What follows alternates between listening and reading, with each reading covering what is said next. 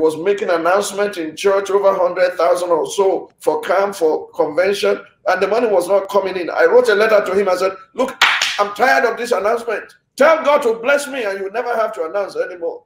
He didn't reply me, and my appointment was terminated. I went to show him the letter. I said, uh-huh, you have gotten the reply. I was angry. I said, reply for wanting to be a blessing to God.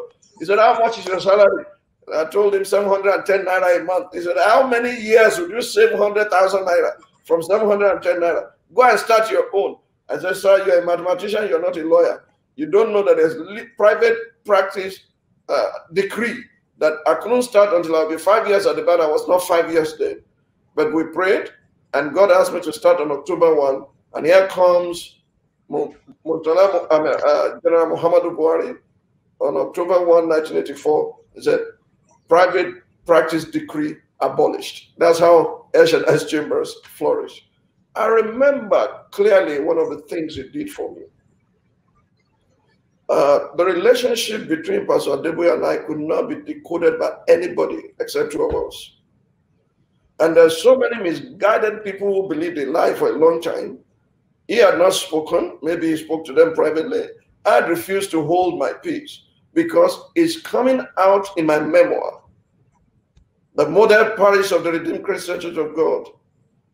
I'm going to write on it for posterity's sake, and I'll write the fictions, the, the, the true facts, facts and fictions at the appropriate time. And I, I will do so by God's grace in his lifetime. And I send him a copy before I publish because there will be no single lie in it. Many misguided people believe the lie. They didn't know exactly what transpired and what led to my leaving Redeemed Christian Church of God. And I held it to my chest because I want them to go and find it out in the book. But let me tell you this. One of the things I will never forget about Pastor Adeboye, when the chamber started and I began to do so well, a time came when we needed to expand. Do you know what he did?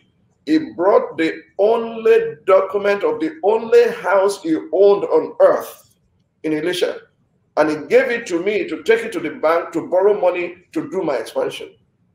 Now, I did not use it. I did not borrow money with that document, but I kept it with myself. Amazingly, I was shocked that any man on earth who is not my blood relation could do that to me. I will never forget his kindness. And in case you don't know, the first house I ever built in my life, I built on that campground. Uh, do you understand me? It, it, it, it, tremendous man of love and man of faith, but still a man, just like me too. And those of you who are young ministers, I'm still young too, who think that you are you are dealing with angels. No, it's not time for angels to preach the gospel yet. In the book of Revelation, they will preach the everlasting gospel. Right now, it is men, and the men, the best of men, are still men at the very best. Thank God for growth.